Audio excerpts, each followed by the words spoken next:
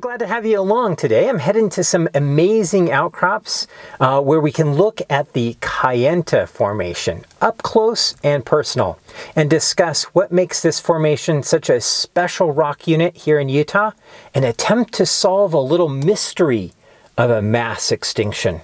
Most geologists and most scientific publications imply that the Kayenta Formation is early Jurassic in age, and I, I put that down in the title of this video. However, pinning down the actual age of this rock layer has not been easy.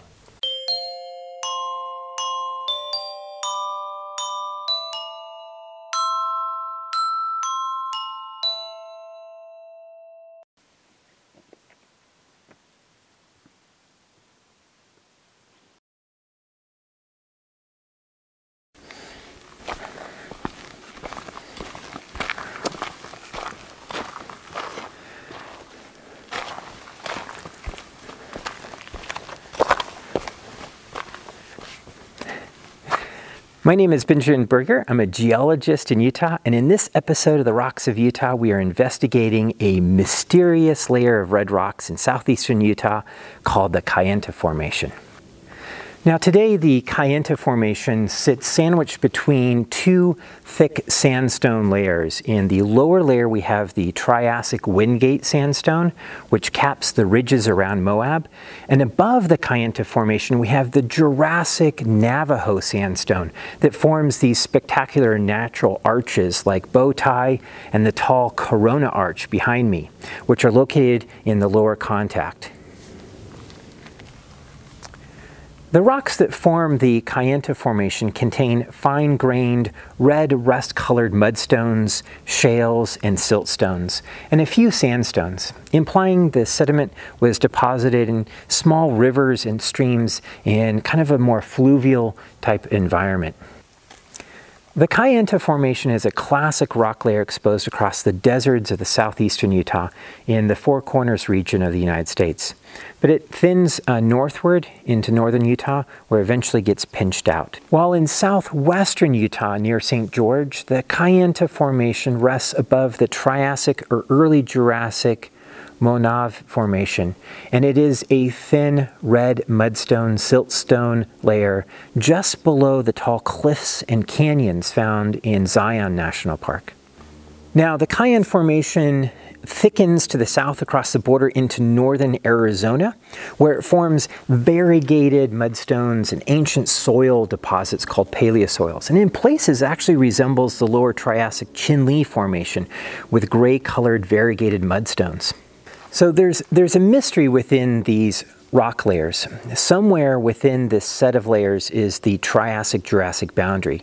So these spectacular arches behind me formed in rocks that sit just above the Kayenta Formation, and they represent lithified ancient sand dune deposits and a very hot and dry environment across Utah during this time. However, the Kayenta Formation, in contrast, um, which is just down there, uh, represents a period of wet, muddy rivers and ponds and a moisture environment. So this wetter climate is interspersed between two great episodes of aridity during the late Triassic and early Jurassic periods. Now, historically, geologists have suggested a late Triassic age for the Kayenta Formation, arguing that the boundary between the Triassic and Jurassic periods is just above the formation, probably somewhere where I'm standing, um, in the lower Navajo sandstone. While more recently, paleontologists have argued for the Triassic Jurassic boundary well below the Kayenta Formation on top of the Wingate sandstone or even below that. The Triassic-Jurassic boundary represents one of the five major mass extinctions in Earth's history, as rocks deposited in marine environments demonstrate the loss of many aquatic animals that lived in the oceans at the time. Furthermore, the fossil record of plant and pollen suggests up to 95% of plants living at the time died off during the event, representing a major change in the flora at this boundary. Now, this boundary has been extensively studied in the Newark Basin in eastern in the eastern part of the United States, and over in Nevada, um, in marine rock layers, as well as rocks in Europe, in the Alps, and in South Africa. But here in Utah, the boundary still has not been located precisely. And the reason may have to do with dinosaurs, because dinosaurs don't appear to demonstrate evidence of mass extinction across these layers. Fossilized dinosaur skeletons from the rock layer are mostly found south of the border in Arizona, while the dinosaur fossil record here in Utah is pretty much dinosaur trackways. So perhaps one of the most famous uh, dinosaurs from the Kayenta Formation is the crested dinosaur Dilophosaurus. Now, Dilophosaurus made its appearance in the first Jurassic Park movie, but was first discovered in, 19, in the 1940s in the Kayenta Formation on the Navajo Nation in Arizona. Initially, it was believed to belong to the English dinosaur Megalosaurus, but was given its own genus name in 1970 by Samuel Welles, a researcher at the University of California. Trackways of dinosaurs within the size range of Dilophosaurus are common in the Kayenta Formation of Utah. Now, Samuel Welles, who described Dilophosaurus, argued that the dinosaur was too large to suggest an earlier Triassic date, and was the first to argue that the formation was early Jurassic in age. In 1989, fragmentary fossil scutes were identified to the English Jurassic dinosaur, Scelidosaurus, which further suggested a Jurassic age.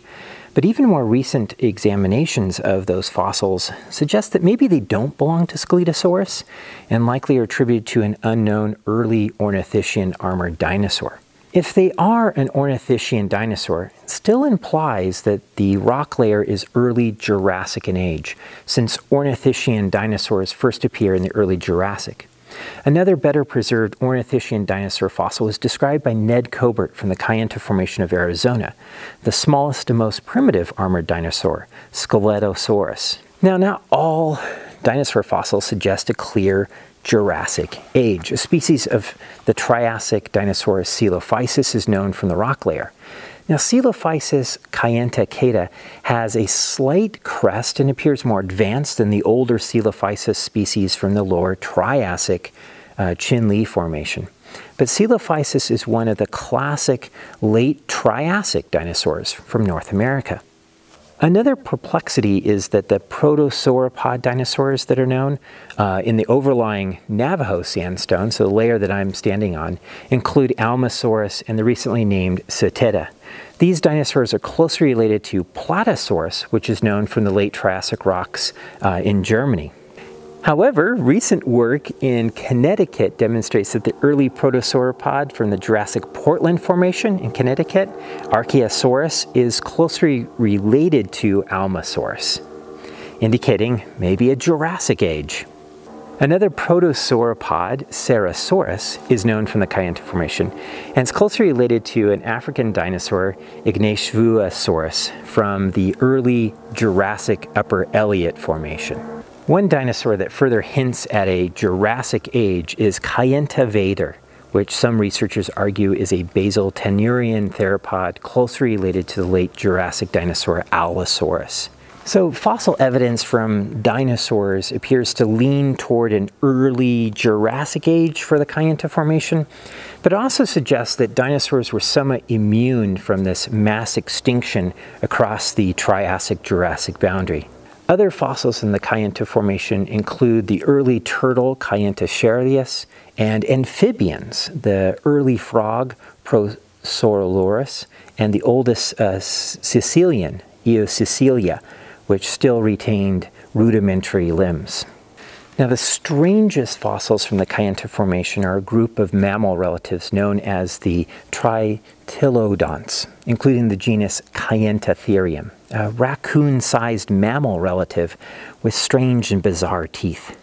So if the Kayenta Formation is early Jurassic, it would imply that this major lithologic change between the mudstone siltstones of the Kayenta Formation and the overlying sandstones of the Navajo sandstone does not actually represent the Triassic-Jurassic boundary which actually would be somewhere stratigraphically below these big arch forming features. Now, this idea would then place the Triassic-Jurassic boundary um, at the base of the Wingate sandstone, indicating that all of these units are early Jurassic in age. However, phytosaurs, which are known from mostly the Triassic and the Chinle Formation below, um, are known from the Wingate sandstone, sort of indicating the Wingate is Triassic. So we got a problem. A lot of conflicting evidence of where the Triassic-Jurassic boundary is in these sets of rocks. So the dating of these rocks directly, getting a radiometric date, has proven to be fairly difficult. So I'm here in the field making observations of the rock layers to see if we can more precisely locate the Triassic-Jurassic boundary and to see kind of if this area is a good place to look for uh, some maybe possible future research projects. Now, I'm not super confident I'll be able to find any indication of where this boundary is and solve this geological puzzle. Um, and one of the reasons is that these um, sands, these sandstones, um, are notoriously difficult um, to get really good geochemical signals out of. Um, and no ash beds have been found uh, in these layers to actually give us a good solid date. So one of the things that kind of puzzles me, I think, about the um, Triassic-Jurassic boundary in Utah is that if I were to, not knowing about the fossil record, to place it, I'd probably place it at the lithologic shift in the top of the Kayenta Formation where we get these aeolian sands um, and desert-like environments, which indicates a major shift in the climate. Um, that's what kind of the lithology tells us is that, you know, there's a major change there, uh, maybe in the depositional environment. And so that seems like a good place. Um, the other good place might be at the base of the Wingate sandstone where we first get these big sandstones and the top contact with the Chinle Formation. So those are the two ones that I would kind of support. But the fossils and the dinosaurs from the Kayenta Formation seem to indicate that the boundary might be at the top of the Wingate during that sort of interval where we get more wet sort of uh, mudstones and siltstones. So I wanted to really look at these rocks and see if they kind of make sense. Um, and maybe see if there's anything, any way we can actually get some good dates out of these rocks. You can see how very different the rocks look down here in the Kayenta Formation. We have these mudstones that are thinly bedded um, and this is very indicative of like a lake or a pond type environment. And so what's really cool about it is you can actually see where we get this contact up here where it was getting drier, that the lake actually dried up. And then we have this contact here. And I was looking at this and wondering, these appear to be burrows coming down into, um, into the uh, mudstone here, but they could also be desiccation cracks where the lake dried up and the mud started cracking apart and the sand that came in, this wind-blown sand up here, uh, came in and, uh, and filled in these, these areas. A really interesting structure. Um, but we definitely have a lake type deposits here. I mean, these are, these are nice shales, they're nicely laminated bedding low energy system, so not necessarily a river or anything like that. Very flat, uh, kind of typical in a pond or a lake. And then we go dr dramatically into a sandstone up here. So this contact's really interesting. And one of the things that I find really interesting about this mudstone is that it might be good for looking at some uh, carbon and oxygen isotopes, um, maybe just organic carbon, um, but the problem is you get up to the sandstone and you don't have uh, uh, much organic carbon in these aeolian sandstones. So there's a dramatic change from a wet environment to a dry environment. So there's kind of a, an interesting change. So down in this canyon down here, uh, we have the uh, Kayenta Formation proper, which are red beds that are down in the base of this, of this uh, gully down in here. And as we move up, we get into these Aeolian sand dunes. So these large cross trough beds. And it's just amazing to think that in, in the early Jurassic or late Triassic, when dinosaurs were really starting to get going and becoming the dominant form of life on the planet, that we were in a world that was very dry and arid. And we can see that in the rocks. These are rocks that are likely uh, formed by sediments of wind-blown sands. Um, we can see this wonderful cross-bedding um, going on. Um, and then in bet between here, we can actually see some layers that are more horizontally bedded, uh, that represent sort of more uh, fluvial or sort of soil horizons. But most of the time, when as you move up in section, you can just see this dramatic change going from these mudstones and siltstones down here to these sandstones with these very broad crossbeds indicating sand that was deposited in wind-blown dune fields. So you go from an environment that may have been uh, more temperate in climate to one that was very severely arid. So thank you so much for watching this video. I hope you learned a few things. I apologize for not making as many videos for YouTube lately. Um, I've had a really busy schedule and uh, I haven't had the time to post new videos for the last month or so. So thanks for your patience. I'm hoping to be posting a little bit more regularly in the future. But thanks for your patience, especially those on uh, who support me on Patreon.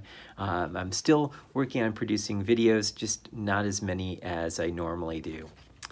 So a quick shout out to those that are helping me on Patreon, uh, including my Eohippus supporters, um, Fred Olney, uh, Marlo and Draco, Brian Clever, uh, Magnus uh, uh, Pablo Luzato Figuez, um, Dan Chapshaw, Max McGregor, Sean Gormit, Justin Bovey, and Emmett Larson.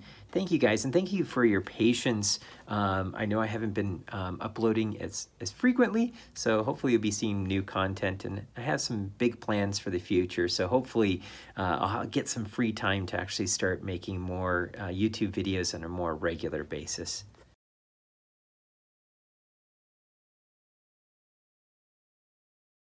No, run this. Run away! Run away! Police! They're gonna eat her! Play dead! Run. Ah, ah, ah, right on that tongue!